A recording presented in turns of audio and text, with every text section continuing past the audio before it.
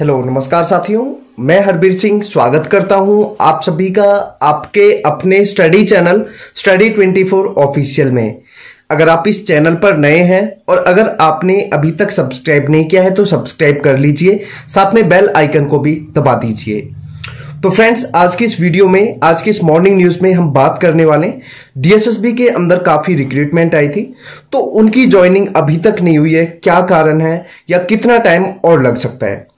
तो फ्रेंड्स सबसे पहले मैं आपको बताना चाहूँगा, जैसे अभी काफ़ी गेस्ट टीचर को जो उनका कार्यकाल है, वो बढ़ा दिया गया है और लगभग सितंबर तक उनको रखा गया है। तो इससे कुछ बातें साबित होती हैं कि शायद डीएसएसबी अभी जो ज्वाइनिंग प्रक्रिया है, उसमें समय लगाने वाला है और इसके रिगार्डिंग आप लोग जल्द से जल्द कोई स्टेप लें, क्योंकि अगर स्टेप नहीं लिया जाएगा तो हो सकता है कि आपकी ज्वाइनिंग और आगे जा सकती है। तो मैं आप सभी के हित के बारे में ये ये चीज़ें सोचकर मैं आप लोगों को बता रहा हूँ। और आगे आप लोगों की सोच है कि आप लोग क्या सोच रहे हैं। हालाँकि जिनकी ज्वाइनिंग होनी है, आज नहीं तो एक महीने बाद, दो महीने बाद ज्वाइनिंग हो जाएगी। लेकिन हाँ टाइम बहुत ज़्यादा हो गया, वो चीज़ें मैंने नोट करी है। इस वजह से मैं आप लोगों को बताना चाहता हूँ कि ज्वाइनिंग में शायद और टाइम और लगा सकते हैं। मतलब थोड़ा टाइम और लगा सकती है डीएसएसबी क्योंकि अभी जो देखने में आ रहा है कि गेस्ट टीचर्स हैं, उनको अभी कार्यकाल बढ़ा दिया गया हालाँकि गेस्ट टीचर्स के बावजूद भी काफ़ी वैकेंसीज दिल्ली के अंदर है।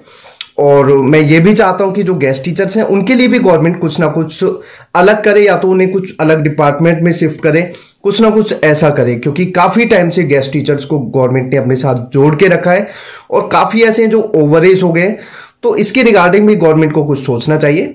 तो फ्रेंड्स ये सब सब अपडेट थी आप लोगों के लिए, जो मैं बताना चाह रहा था कि ज्वाइनिंग के लिए अभी कुछ सोचा जाएगा कि कुछ स्टेप लिया जाए, ना लिया जाए। और इसके बाद, इस वीडियो के साइड में एक हमारा दूसरा चैनल है, उसकी वीडियो है, छोटी सी आपको देखने को मिलेगी।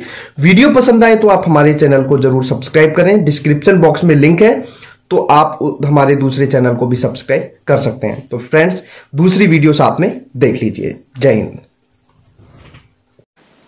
Hey everyone welcome to your own channel study kingdom आज मैं आप सभी के लिए एक न्यू टॉपिक लेके आई हूँ that is the reflexive pronoun अपने टॉपिक की reflexive pronoun reflexive pronouns are words ending in self और self that are use when the subject and object of sentence are the same अब यहाँ पे बताया गया है कि ये जो रिफ्लेक्सिव प्रोनाउंस होते हैं, इनके एंड में हमेशा सेल्फ लगता है या सेल्फ्स लगता है।